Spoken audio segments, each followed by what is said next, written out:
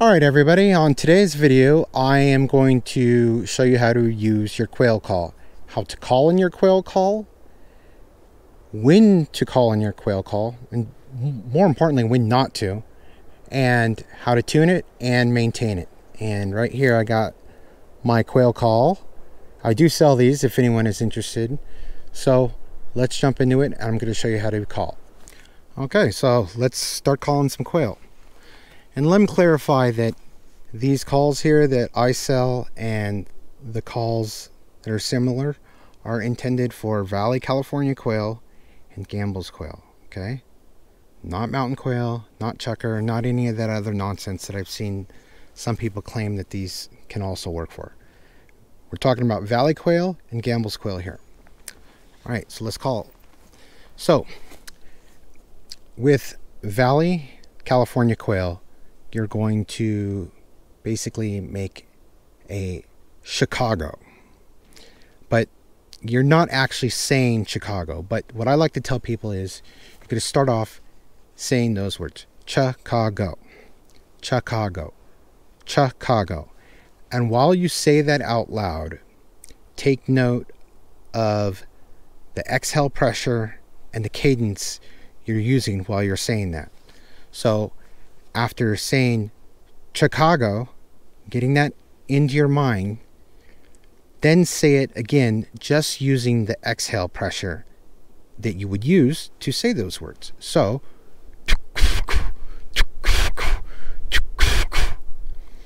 and you're going to exhale that pressure and cadence into the call.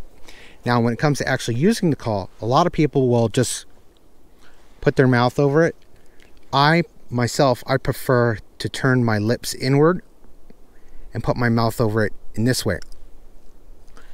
And I do that because you're going to get less saliva into the call, which will degrade the rubber band inside there quicker. And also, as you get saliva in there, it'll stop the band from vibrating and working properly. So turn your lips inward, put your mouth over the call, and do it.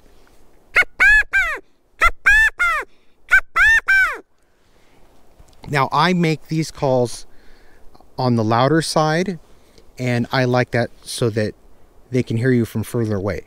If I want it quieter, I can always muffle it more with my hands.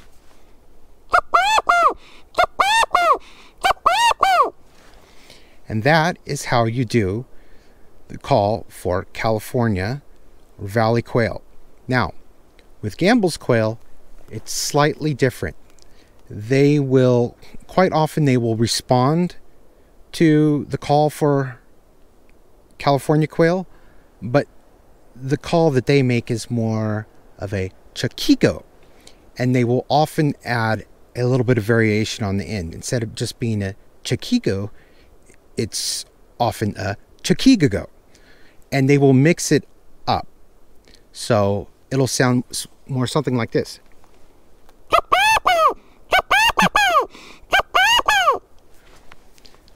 And that is how you do Gambel's quill call. So, now that I've taught you how to make the call, let's tell you when to use it. I will use the quail in the morning when I have not located a covey, and I will occasionally use the call and call out and listen for a response. The other time, well, let's talk about when not to use it. Quite often, I will see guys bust up a covey, and immediately after shooting missing, they're talking loudly to their friends, and then they will call in the call.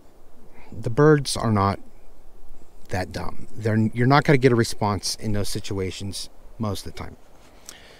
Now, after you've broken up the covey and you can't find the birds quite often they are still located in that area where you lost them.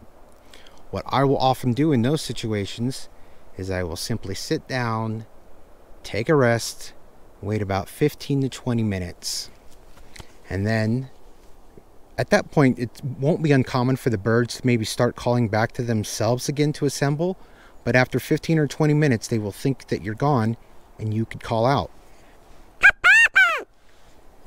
And if you get a response, you know where they are. I will quite often wait for multiple responses and then go off and hunt the singles out again. So, talked about how to make the call, when you use it. Let's go back to the house now and we'll kind of go over tuning and uh, I'll kind of talk a little bit more about the calls that I actually make here. All right, let's go.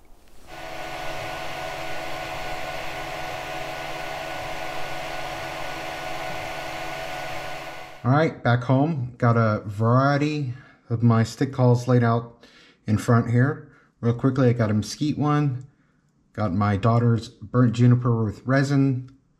Mine, walnut and resin. Couple of my plain walnut calls. And the backs of calls, which I'm going to use to describe how to tune them. So, let's get all these out of the way and focus on just the backs of the call for tuning them. To tune the call, what we're first going to do is untie any lanyard that is on the call. And then we are going to unscrew the two brass Phillips head screws that are holding the call together. And we're just going to focus on the back half that contains the chamber and the reed, which is a number 33 rubber band on my calls. Now that we have the call opened up, we can adjust the tension of the rubber band on the inside and that will change the tone. Much like a guitar string, having the rubber band tighter is going to give you a higher pitch tone and moving it to a slacker position will give you a lower pitch tone. Now I don't screw them together when I'm testing tone. What I'll simply do is I'll take the face of the call, hold it in place, and give it a test. And if I like the tone, then I'll put it back together. Another thing to keep in mind is that you really want to pay attention to the position of the rubber band in the channel. You do want to get it as centered in the channel as possible. If it is pushed up too much against one side, that can affect the call and how it works. And quite often when that happens, it'll only work blowing in through one side or the other. And that can happen over time too. You're blowing on it constantly through the one side and it works its way over and then it won't sound properly or it'll sound different from the other side. All right, maintaining the calls. So over time, there's a couple things that are gonna go wrong with the calls. Uh, one, the um, the calls are made of wood and the rubber band, and both these are susceptible to moisture, humidity, and temperature changes. So that can affect the tone. But over time, as you spit into it, you're going to get moisture in here, and you know the wood when things get wet. Um, I forget what you call it, but it can kind of uh, curl up, and it might cause binding in this channel or as you use it, you'll get spit in here and that'll dry up, or you know, it falls in the moon dust in the desert and you'll get junk in here. One of the reasons I kind of make this depth uh, a little bit on the deeper side is I think it's less susceptible to having grit getting stuck in there. And like I said, I like them, the volume of them to be louder rather than quieter.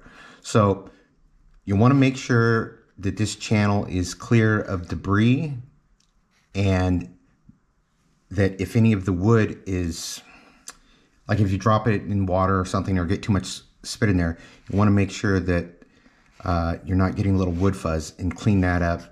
And just make sure that part is clean. Make sure you got a new rubber band. And um, that's as far as maintaining the tone of the call. Now also, as you use the call, your lips are going to suck the oil out of the call. And you'll need to put some new oil on it. Now, what kind of oil to put on it? Put on either walnut oil or mineral oil. Those are the two oils that are food safe, meaning you don't want to put some kind of chemical thing on there because you are putting your mouth on it. And those two oils will not go rancid. So you can just put it on with your finger. But there you go. You could kind of see where on my call, I had a little dry spot in the center where my lips had gone. You just rub the oil on here and uh, a little bit on the back.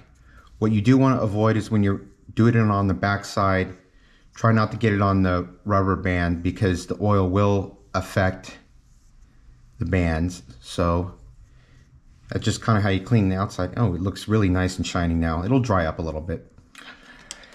Um, the other thing you'll notice is that the bands will eventually also break and they typically break on the ends. This is my daughter's. I need to replace the band. You can see it's broken on both sides.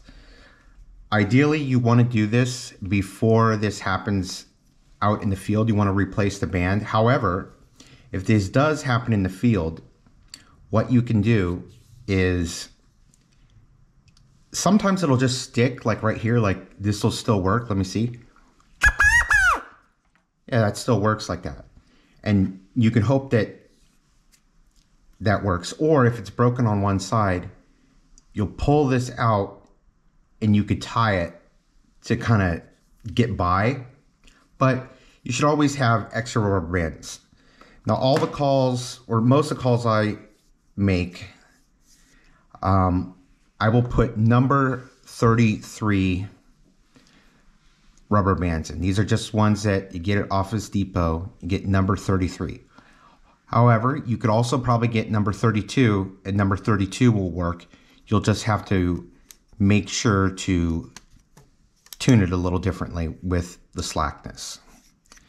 And um, I think that's about it. Clearly the most satisfying part.